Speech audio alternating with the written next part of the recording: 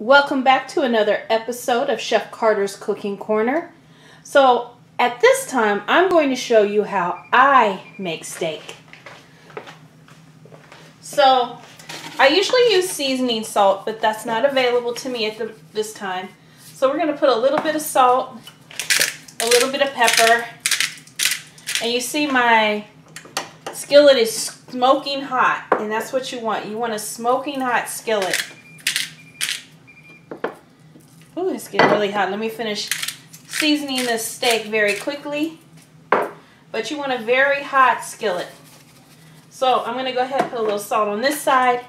And then what I'm going to do is put it in the skillet and let it cook for just a couple minutes. Now we're going to take it and put it in the oven.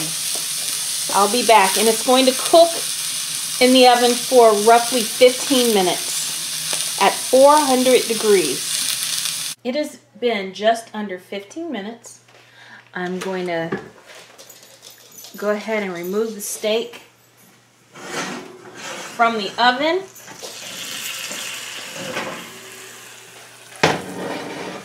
And we're going to let it rest for at least 10 minutes.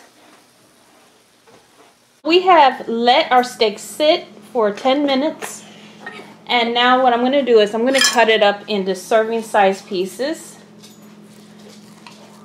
You know, some people, I know some of you out there are saying, that's a serving size, ma'am. But that's a lot. so I'm going to cut it into more reasonable serving sizes. And I like to serve my steak on top of a piece of buttered toast. So I got one for myself and one for Lucas, even though he only let me have one bite of his. All right. I was hungry. All right. So a little bit of toast, a little bit of meat. Ah, it's fighting me here. Mmm. And it's yummy.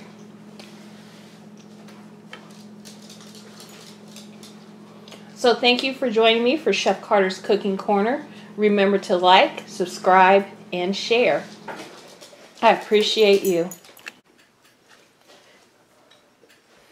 You want to sit here and eat with me? Nope. Why not? Because we can eat together. is this even like good with butter? Mm-hmm. You put butter on your steak? I don't. Not with toast. Now. I wish you would show them what you're doing. It's funny. Whoa! that was tremendously good. Thank you. Even without the A1? Huh? Where's your A1? I don't want it. I'm gonna uh